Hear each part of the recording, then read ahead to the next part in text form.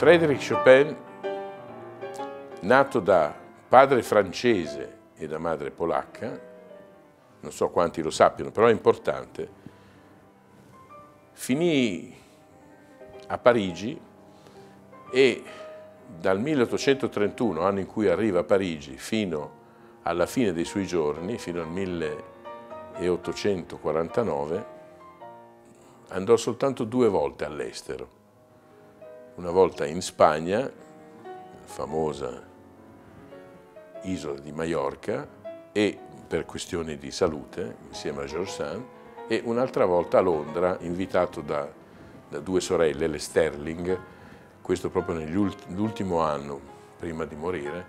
eh, che volevano presentarlo al pubblico di Londra e fargli fare dei concerti lì. Frédéric Chopin è forse il più rivoluzionario di tutti i compositori per pianoforte, perché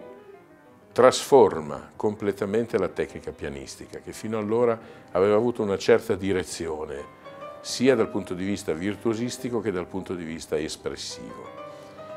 E quindi è l'autore cui noi tutti vogliamo più bene, perché è quello che ha amato più il pianoforte. Ci sono pianisti oggi contemporanei e compositori contemporanei che baciano il pianoforte prima di un concerto. Noi dobbiamo baciare idealmente tutte le pagine che questo compositore ha scritto per noi. Non a caso, per eh, i più piccoli, è forse l'autore più difficile da suonare, perché richiede una grande maestria dal punto di vista del tocco, dal punto di vista dell'uso del pedale, del legato, il legato, il legato, sempre legato, il legatissimo, ancora legato, sempre legato. Questo tocco legato si può ottenere soprattutto se si pensa che il pianoforte si deve toccare con le dita non chiuse e arcuate, ma con le dita leggermente allungate. Lui diceva agli allievi tocca il tasto per cantare la nota come se dovessi toccarlo con un pennello, come se stessi facendo una pennellata, portandolo verso di te col dito allungato, in modo tale che, diciamo così, lo scontro, l'urto tra il dito e il legno del tasto non si avverta quasi. Ecco, nello studio che, senti, che avete sentito eh, poco fa, nella caduta di Varsavia, questo è il nome che è stato dato, adesso vi spiegherò anche perché, in questo studio questo tipo di tecnica è molto importante per evitare che la violenza, l'urto, la drammaticità, la tragicità del contenuto espressivo possa diventare violento, perché non è violento. Ogni suono, anche il primo accordo, che in realtà è un urlo, è un urlo di una popolazione intera, deve essere eseguito senza dare il colpo, ma accompagnando il tasto e quindi seguendo il tasto dall'inizio della sua corsa fino alla fine della corsa, nonostante la forza che bisogna imprimere. Questa composizione Chopin la inizia in una notte in cui gli arriva una lettera dal suo carissimo amico Titus. Lui si trovava all'estero per la sua prima tournée, quando, questo nel 1831, gli arriva, credo nel settembre del 31, gli arriva questa lettera che lo informa che Varsavia è stata eh, di nuovo presa d'assalto dalle truppe dello zar di Russia. Perché voi sapete che nel Settecento la Polonia fu divisa in tre parti, una parte andò alla Prussia, una parte andò al, allo zar, quindi ai russi, e l'altra parte andò all'impero austro-ungarico.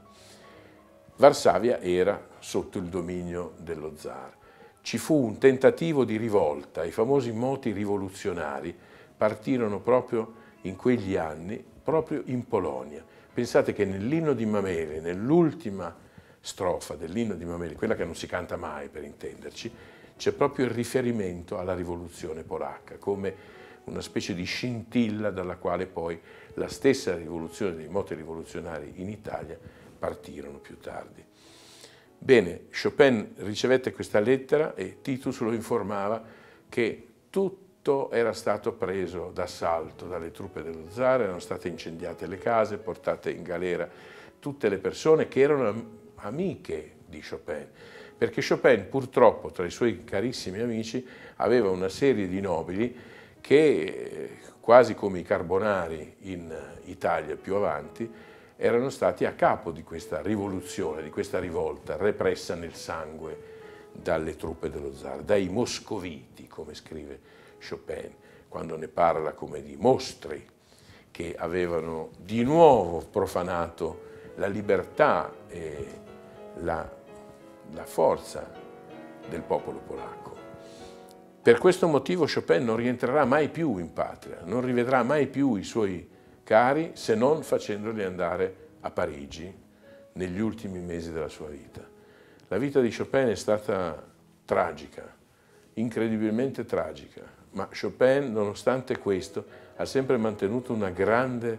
forza, un grande senso di umorismo verso se stesso e verso gli altri, una grande generosità nei confronti delle persone che gli erano più care e naturalmente un grande amore nei confronti del pianoforte. Non ha passato la vita a fare concerti tutti i giorni, in tutta la sua vita ne ha fatti solo 54 di concerti. Li faceva solo quando aveva bisogno di un po' di soldi e quindi cercava di farsi organizzare i concerti dai nobili, nelle famiglie, nei palazzi